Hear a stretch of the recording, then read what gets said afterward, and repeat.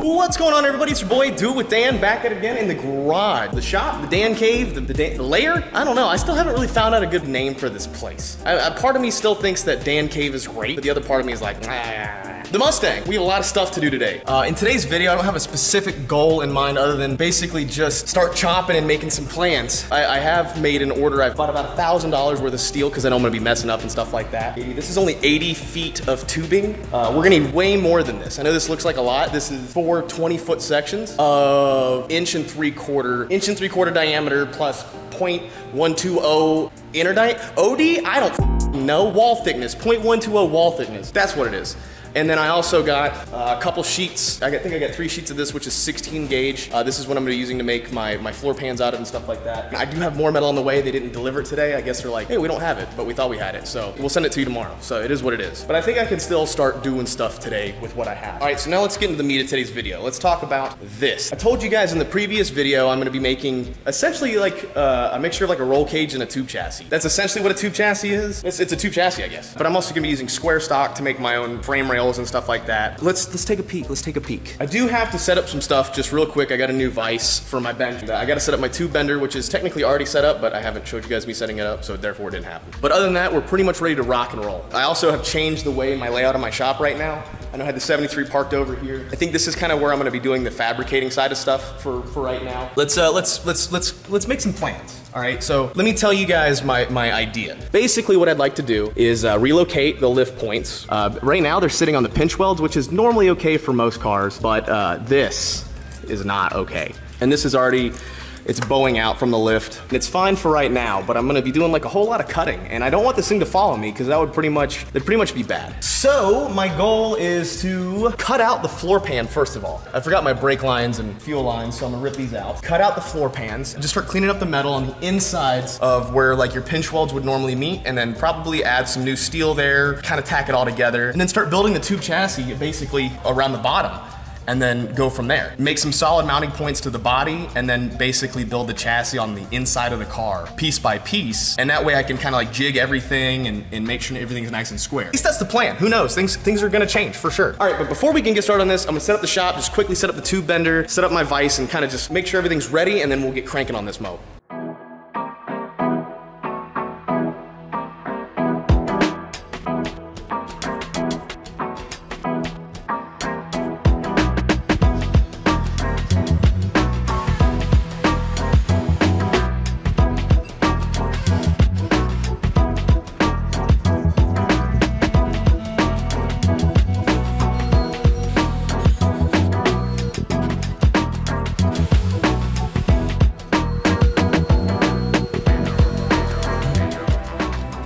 Now before I can cut out the floor pan, I am gonna remove these brake lines and fuel lines because well, gas, you know, if you cut through these lines and there's gas in them and there's a bunch of sparks on them, the car's gonna go up in flames, which is, uh, which is flames. It's gonna go up in flames.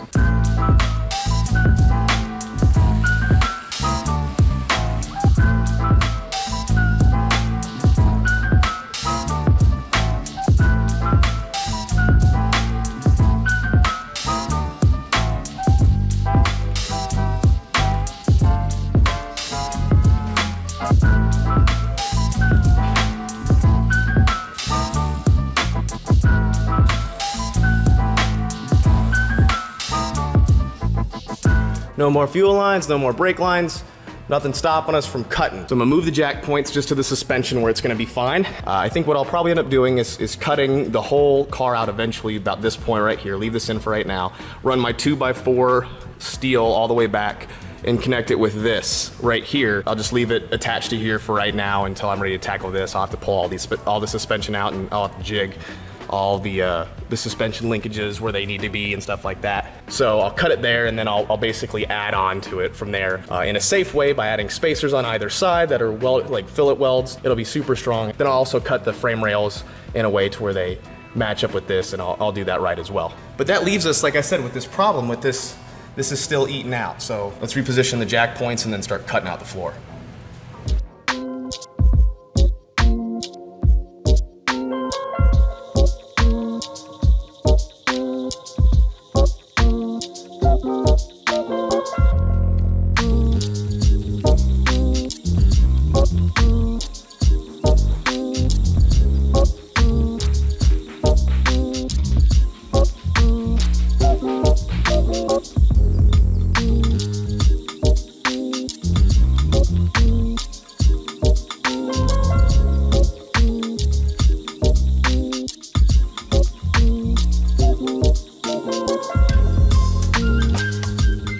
So I found some like decent mounts for the uh, for the jack points. This this whole carriage right here for the rear suspension, which is pretty much eaten away anyway. I don't know how it's it's managed to. It, it seems to be doing here just fine. So let's uh, let's risk our lives with that. So for sake of ease, I think I'm gonna use the old plasma cutter. I haven't used the plasma cutter in forever, and uh, I've got my I got my small air compressor here because I can't I can't really afford a big one right now. I, I do need a big one for the shop, I really do. But with with the way like things have been budgeting, I just can't I just can't pull it off. So I'm gonna have to use my grandpa's little one, but this thing is more than enough to power the uh, the plasma cutter, which is fine. Uh, but this is the Hypertherm, uh, I think this is the, X, yeah, XP30. This thing has actually done tons. It's been such a kick-ass little plasma cutter. Hypertherm does nothing but make plasma cutters, and I've got nothing but nice things to say about this particular one. It'll do like half inch steel, no problem. Uh, three, three quarter inches or it starts to kind of bog down a little bit, but yeah. Plan of attack number one. We're gonna see if this works. So without having to just completely detach the body and create a rotisserie and, and do all sorts of weird shit. So I think the best thing to do for me to, is to build the frame around the inside of this and then just kind of like slowly start making supports for it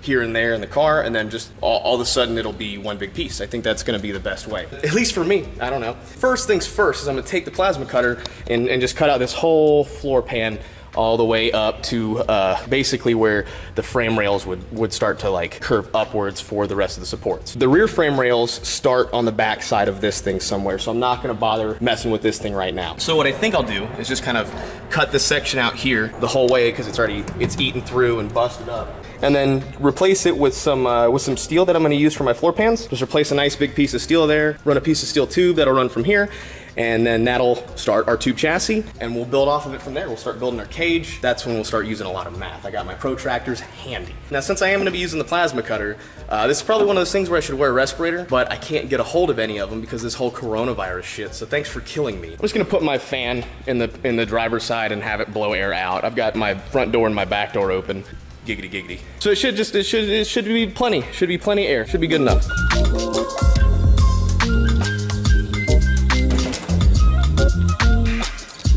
We're about to get into some serious shit. There's a lot of rules that go into building a tube chassis, and I'll let you guys know my experience. I really don't have that much. I've like half-ass built stuff and made frames here and there and, and just done general bumper making out of like steel and stuff like that. Nothing I've ever done has been like this structural for sure. However, I will say this, I've been doing a lot of research and uh, a lot of just information collecting. And there's two YouTubers out there right now who have fabrication tutorials and information that I'm gonna direct you guys to because I don't wanna say the wrong thing and get you guys like, damn dude, I almost died because your stupid video, Dan. Not what I want. Uh, the two YouTubers I'm referring to is the Fabrication series. I've been watching him for a long time. His YouTube videos have taught me how to tube bend or at least kind of understand the principles of tube bending because believe it or not, like this stuff is actually really complicated. It took a lot of math for me to learn that. And uh, the Fabrication Forum, I believe, this guy right here for sure. Like, they just have tons of YouTube videos that you guys can source and gather information on. So rather than me trying to get like caught up in all the details, how to do this and how to do that, I'm gonna kind of link their channels and be like, hey, go watch some of these guys' videos. It's gonna be way better information than I'm presenting you guys. And a lot of part about fabrication is making sure things don't warp and bend because you have,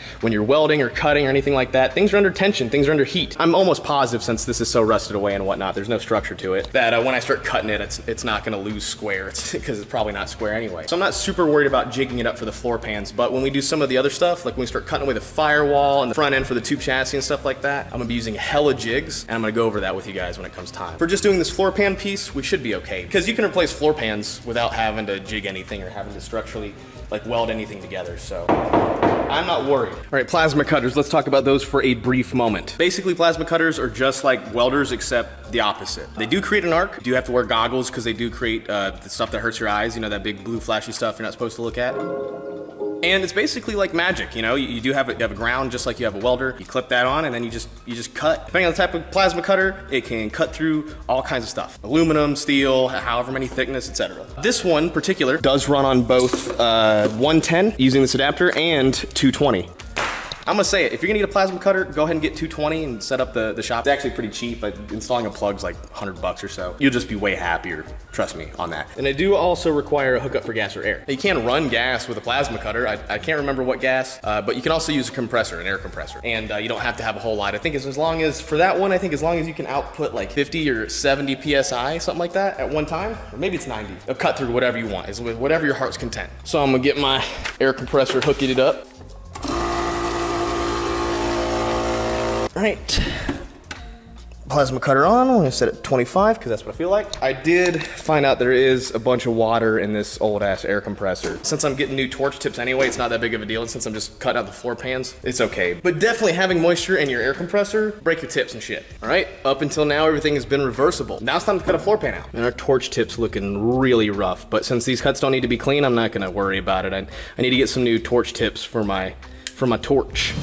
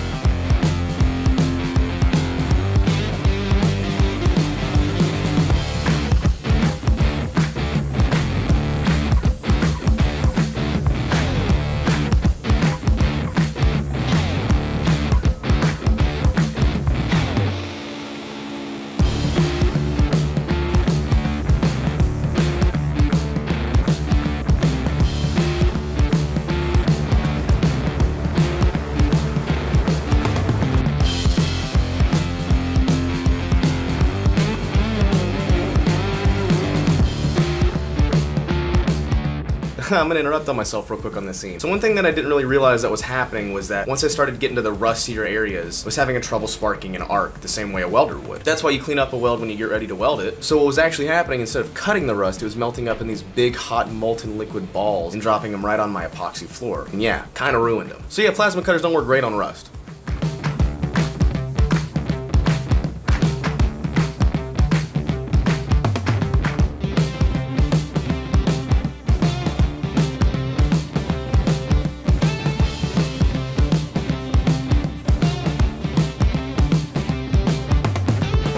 Rust. That's just from this floor pan over here. All right, I'm probably gonna kill it with the uh, with the plasma cutter right now. It made sense to me at the time, thinking that like because this floor pan was so thin and rusty, plasma cutter would blow right through it. But it makes sense why it doesn't work as good. If you don't have a good connection, you can't make a good arc. You know. In hindsight, seems obvious now. After I spent a good bit of time with the plasma cutter on this thing, I think it's time to just go straight to the sawzall.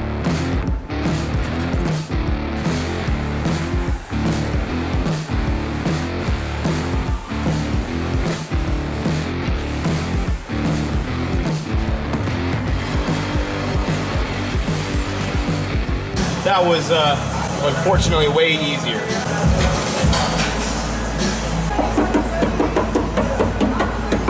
All right, so this is basically what I wanted because I just wanted to expose this piece. I wanted to expose this inner uh, door jamb, I guess, if you want to call it that. So I could kind of uh, take a look at our, our edges here, our seams, figure out the areas that are definitely gonna need patching. Like all of this is pretty much unusable right here, this exterior piece. This, yeah, this is all gonna have to be cut out. I mean, I'll, I'll probably even, I'm gonna cut the firewall out and do that too. But I need a good place to start and this seems like a great place. So I think I'm gonna cut along the edges here, remove this entire bottom piece and then just weld in a new piece of metal there. Piece by piece, keep doing that until I'm satisfied. What do you think? Once I have my bottom rails, I can build a hoop that'll basically be the basis of which we do the tubular front end and we can build off of there and do the cage. So yeah, mount a piece of tube here and this will start our, our bottom of our tube chassis.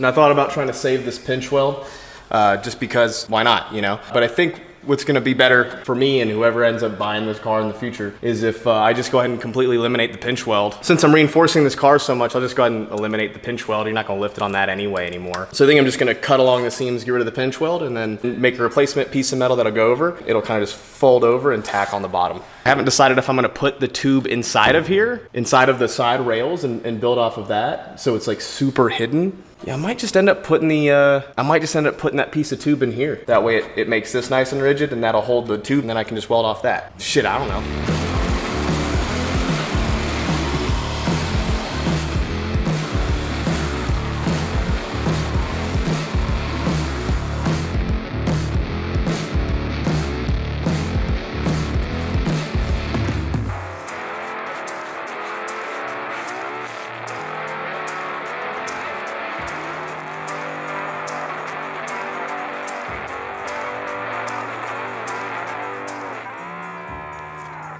All right, it's another day. Today's Wednesday. Yesterday was Tuesday. Quick maths. So uh, before we continue, I need to build a quick extra workbench. Is there more? Damn, I did. Now, before we get started on resuming the car, I do need a, like a big table. I want a big roll around table that I can set tubes and metal and whatnot on and kind of like pre-plan or draw on or maybe even cut on. I, am gonna need something that I can use for my plasma cutter. I'm not gonna use wood, but I do have other ideas. We'll, we'll get to that when it comes time. But basically, I'd like to just build a big roll around uh, worktop table for like metalworking or, or other stuff. You know what I'm saying? Like a big four foot by eight. Basically just one of these. I do need to build a welding table or like a plasma cutting table soon. I'm also supposed to be getting a plasma cutter uh, CNC machine, but I'm trying really hard not to spend too much money, man. I'm, I'm going broke trying to get this place like up and running. You know what I'm saying? But yeah, just, just real quick, not gonna take a whole lot of time. Just gonna build a big four by eight workbench that I can roll around.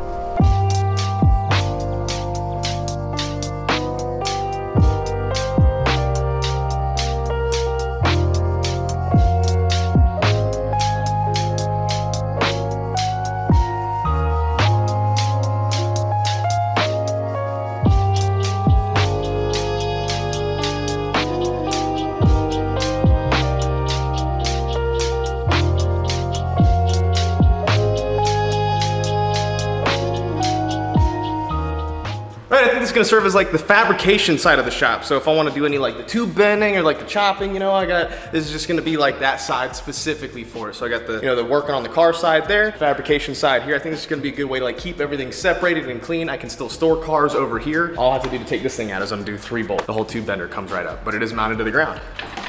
So I'll do the engine building stuff over there. I'll do the fabrication stuff over here just to do that kind of. You know what I'm saying? Uh, and the whole bench rolls around so I can kind of bring that anywhere I need it to be in the shop when I use it. I'll probably use that right now to, to do uh, my plasma cutting on. I'm not gonna use it to cut directly on the wood. You guys will see what I'm talking about when it comes time. Where we stop yesterday? I don't know. Let's go check it out.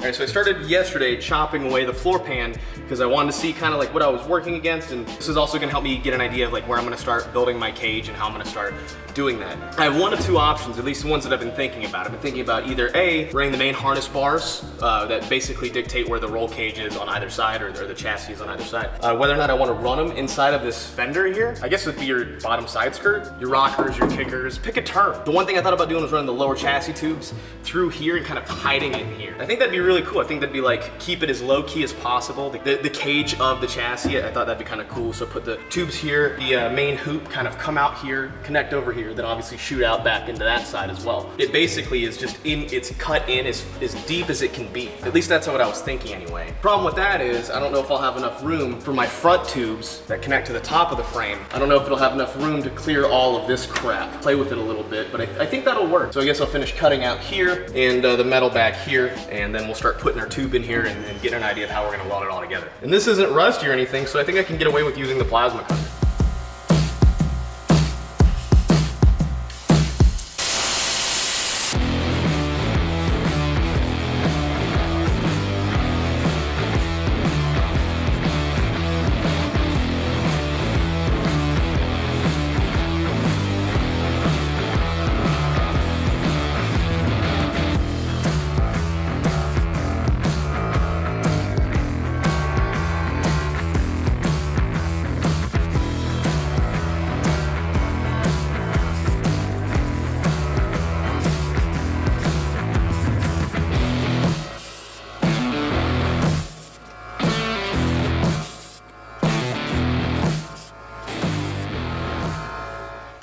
So now I just got done uh, finishing up kind of our preliminary cuts for the, the tube chassis to kind of roll in through the bottom here. All right, I know it looks like a shit mess, but it'll get better, I promise. Just using the plasma cutter, I roughly cut out this whole thin sheet metal that just kind of like pinches together and it all kind of welds together. But I think what I'll do is I'll run our base tube through this channel here. This connects through here.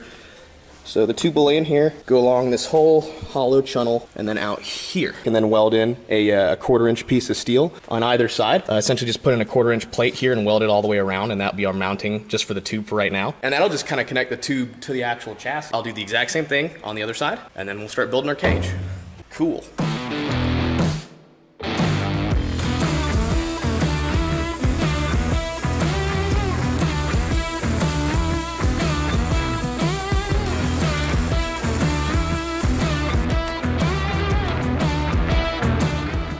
Favorite part about fabricating stuff is the fact that you can kind of just make up your own measurements, right? Like it's all it's all yours. I mean, I do have to follow a, a general structure because I am rebuilding a car, right? But like the one thing about fabricating stuff that's always kind of appealed to me is the fact that it doesn't doesn't hardcore matter. 63 inches of tube. That's gonna give me plenty of room back here for uh, for air if I need it. You know, cut me 62 inches.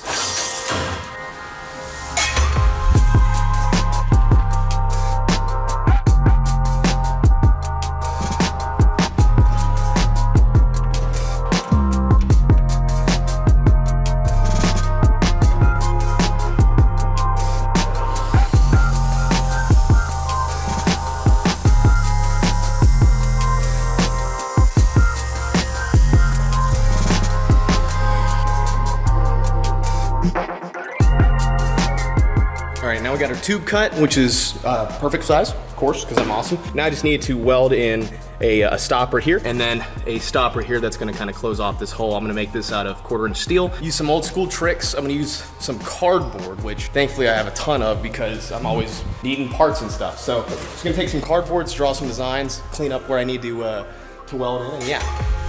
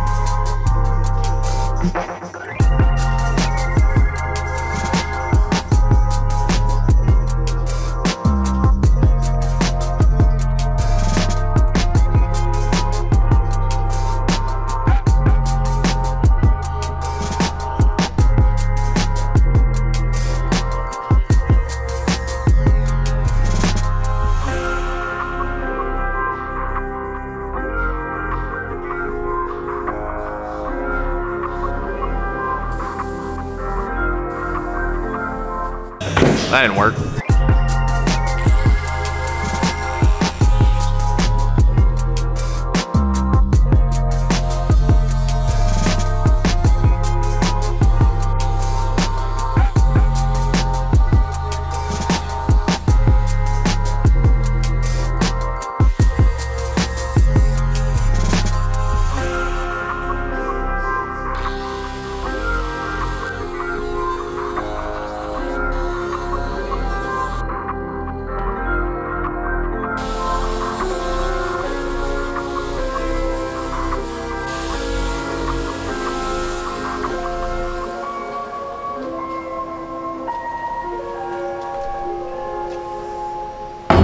Gotta hydrated. All right, so our little pieces, uh, which are molded to the inner channel, goes right in place. Nice. Put this bad boy back here. That'll be our stopper plate, and then we'll send this thing through the body. And our other plate goes on the back side. Also, to get things started, I'm gonna tack this end piece in place.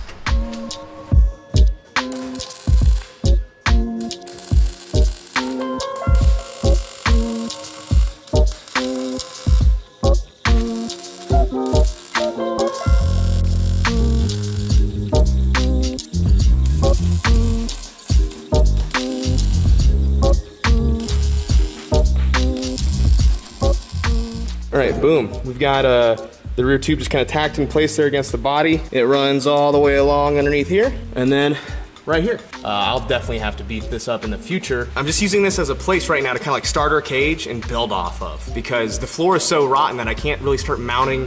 the floor is so rotten and so is the frame that I can't really start mounting things to it. There's different ways I could do this. I could cut the whole body off of this thing, put on like a, a frame jig, probably add like another month worth of work to this thing. But I think I can do it like this. I think I can pull the old Indiana Jones switcheroo where I just swap the bottom out from underneath it and just kind of go from there. But I have to start moving on. I gotta go ahead and cut out the rest of this floor pan. Uh, so I've got a couple pieces of just square stock here. Not particularly strong, but it is structural. And I'll just throw a couple of pieces between the back and the front. Make sure that both of these stay nice and square because I'm about to cut out the rest of the floor pan.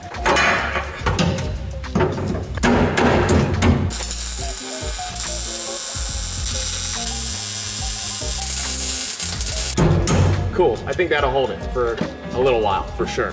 Now it's time to cut the rest of the floors out.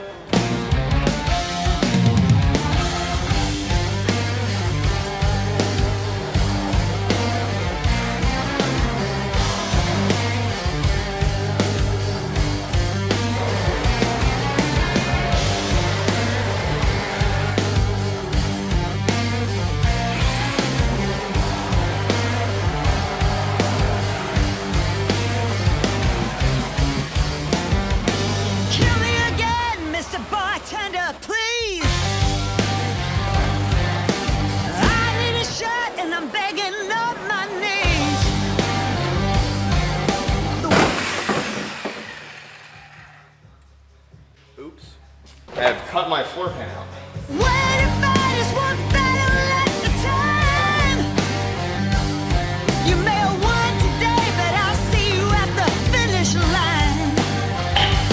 I'm not gonna lie, it's kind of nice being able to work inside the car like this. Maybe I should cut the floor out of stuff more often.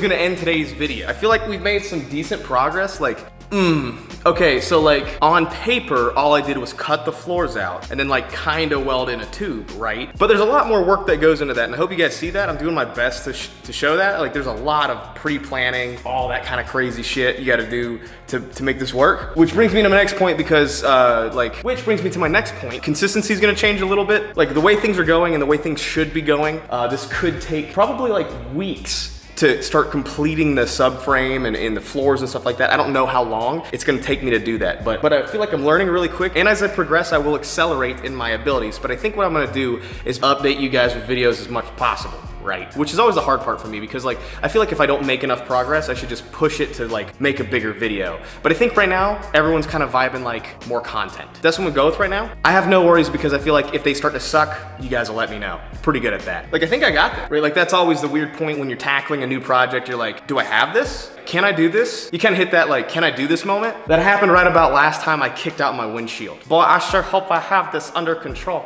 Things are things are going good, man. I appreciate everyone's support. Y'all y'all been 10 out of 10, except for you. And you know who I'm talking to. Man, I gotta be I gotta be better about earplugs. I can't I can't hear shit. Except for this like crazy ringing. I've really upped my eye protection. You know, I feel like I feel like my eye protection game is pretty okay. I want a face shield, but they're fucking sold out. Anyway, now now I'm rambling. Uh, you know what? How about before the video ends, we do like a little uh, like a little closure. Let's see where we're at for the day. So obviously, this thing, I'm pretty happy with the way this thing turned out considering I, I basically ran out of wood. But I threw my big old six inch vise on this thing. It'll be great for working with tube and stuff like that and just kind of laying stuff out. Something this big, I should have gone with like omnidirectional casters all the way around. Front ones, I was like, I'll just steer like my workbench. But with something this big, man, it'd be nice to be able to swing it front and back. I'm kind of having to park this big motherfucker anywhere I can. As for the car, I'm actually pleased just punch about this idea. I think this is gonna work out really well. Especially, like this part isn't structural or anything like that, but this part will be. It'll be welded directly into the body and the frame. And when we get to like bending the tubes and stuff like that, we'll, we'll cross that bridge when it comes to it. There's a lot of math and science involved, I don't feel like. But this is really interesting. So these are the frame rails, right? But since I don't have any weight in the front and it's bolted in about 17 other places, when it comes to doing the frame rails, I got some 2x4 square stock that still isn't here yet, by the way. But I'll probably just chop this right here, weld in the square stock, go it all the way to here, weld that in place. Not weld it, weld it, but like tack it in place. Do that on both sides. Create my frame rails, have them kind of hover here, and then build to them. But that's uh, that's where I'm gonna end today's video, man. I really want to say thank you guys for watching and supporting the channel as much as you guys have. Things are weird, views are down, but who cares, man? I'm having the time of my life. But y'all's response has been like 10 out of 10. Y'all could help a Dan out by sharing the video, you know, give it a quick share, like, share it, you know, all that other shit. That sure would help me be able to like, that sure would help me finish up the shop getting put together if I had a little bit, just a little bit more, more help. So yeah, I'll see you guys in the next video. We'll, uh, we'll, we'll continue cracking this thing apart for, for a little while longer. Then once I feel confident enough to start tearing apart the 73 again and do the exact same thing, we'll do that.